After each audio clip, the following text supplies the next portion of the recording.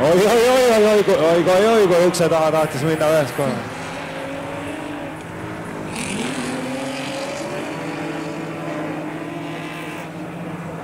no vähemalt seekord tegid need kaks omavahel tutvust.